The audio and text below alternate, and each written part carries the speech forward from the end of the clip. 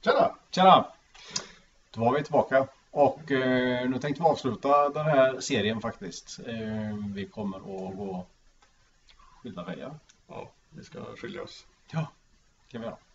Vi tänkte avsluta med en liten lektion om eh, marknadsekonomi. Ja, Eh, utbud och efterfrågan. skolan och elevernas framtid. Ja, Eh, och som ni ser då så tillgång och efterfrågan på marknaden. Men löner och personal också. ja just det. Vi kommer att använda en del bra begrepp, väldigt grundläggande begrepp eh, som man behöver känna till för att eh, ha lite koll på det här. Eh, de kommer där. Marknadsekonomi bland annat. Ja. Eh, ja, vi tar det till. Konkurrens. Mm. Och de där två hänger väldigt nära ihop. Ja, det gör de. Ja. Ju mer konkurrens, desto lägre priser och bättre kvalitet oftast. Då har vi marknadsekonomi.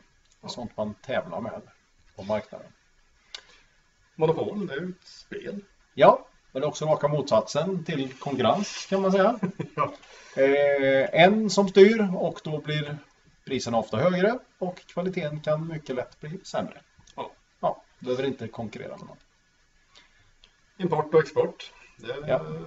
Alla länder måste importera saker och alla måste exportera. Ja, Alltså man köper saker utifrån. Ehm, ja, bilar till exempel, om man Ja. inte har någon biltillverkning eller om man inte har några träd så måste man importera träd. Ja. Och export det som Sverige bygger sin rikedom egentligen på. Vi ligger ungefär på 20 plats eh, bland världens cirka 200 länder. Så att export, helt avgörande för oss.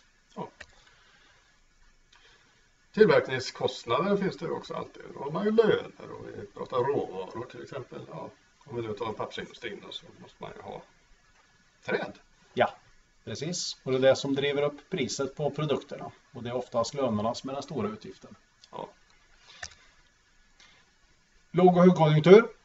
Tillgång och efterfrågan. Ehm, går ekonomin bra så är det högkonjunktur. Folk får jobb. Priserna ökar. Går det dåligt? Lågkonjunktur. Ont om jobb. Priserna sjunker, lönerna sjunker. Ja. Ja, inte alltid priserna sjunker, men lönerna... Inte alltid de sjunker. Nej, det kanske inte. Men de ökar inte. Så kan Nej, det gör de. Så kan man säga. Ja. Arbetslöshet kommer vi att titta lite som hastigast på. Ja, Här har vi den klassiska grafen som eh, man ofta använder när man beskriver just eh, efterfrågan, utbud, konkurrens och eh, så vidare.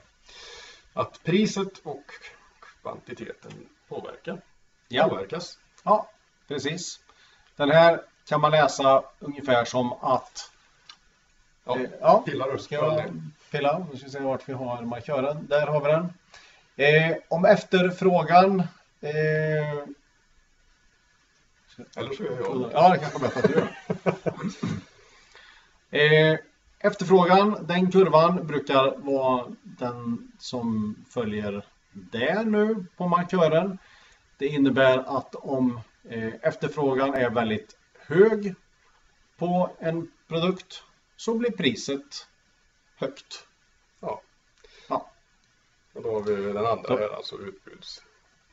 Eh, utbud och efterfrågan, hur det följs. Och Ja. idealet är ju här. Ja, där de här två möts.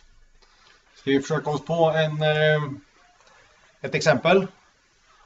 Om eh, det är ett lågt pris på en produkt, då är jag inte så intresserad av att sälja det. Och då eh, blir utbudet litet. Om priset är högt, högt pris, då är jag sugen på att sälja det. Och då ser jag till att det finns mycket utav det. Sen blir det åt andra hållet. Om priset är högt så blir efterfrågan inte så stor. Då vill man inte köpa så mycket. Men om priset... Hallå, tog den vägen? Där! om priset är lågt, då blir efterfrågan stor. För då vill folk köpa för att det är billigt. Alltså möts de här två. Och då hamnar man på jämviktspriset. Ja. Annars så Det är någonting man eftersträvar för annars går ekonomin. Ja, då blir det svajigt och då blir det osäkert. Och det vill man inte heller ha. Man vill ha stabilitet. Ja. Ja. Eh, här tar vi fram en annan graf. Den eh, påminner en hel del om den vi använder för att beskriva ekonomi. Det här är en sorts ekonomi också, fast det här är lite över personalekonomi. Mm. Eh, och den svarta eh, strecken där som ni ser är alltså efterfrågan eller på lärare. Ja, vi, Behovet av. Ja. Och eh, den rosa är då tillgången på lärare. Ja. Alltså, helst ska de här två kanske stämma överens någorlunda. Eh, att det finns så många lärare som det behövs helt enkelt eh, på olika nivåer. Men ju större glappet blir emellan de här eh, desto så att säga, större problem kan vi få. Och i, i det här fallet som är nu, om vi tittar på förskollärare upp till vänster till exempel, så är alltså tillgången på förskollärare betydligt lägre än vad efterfrågan är. Behovet är alltså större än vad som finns tillgängligt. Och vad händer då? Ja, vad händer? Det blir ju stora problem eftersom man inte har folk att fylla de platserna. Eh, Och ja, hur, eh, kan man då få folk att arbeta hos sig?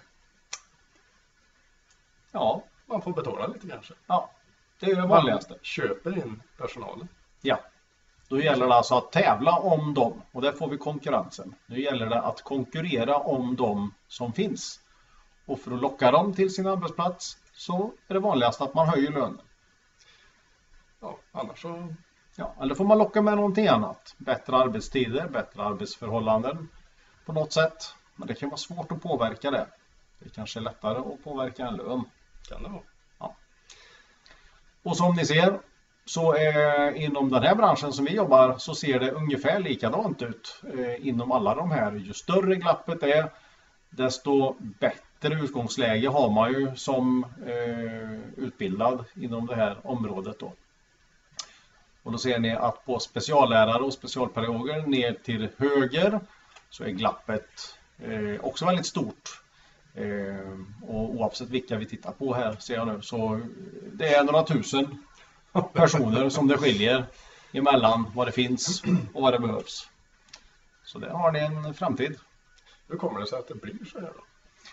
Ja, vad kan det bero på? Vi har ju ett fritt val och många har valt att utbilda sig till något helt annat.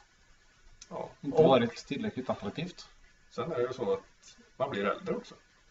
Mm. De som är 60 idag blir, de blir ju 65. Ja, och då blir de pensionärer.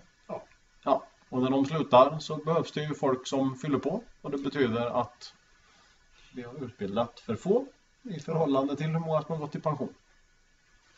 Så ja, kontentan av det här. Ja, bli lärare så får ni jobb. Ja. Och Och, förhoppningsvis kan man pressa upp lönen lite också. ja, kan man också göra. Man kan Och försöka då. Alla skolor, behåll nu era lärare. Ja, just det. För rätt vad det är så eh, Står man där står utan. man där utan och det är jobbigt. Ja, hoppas ni blev klokare.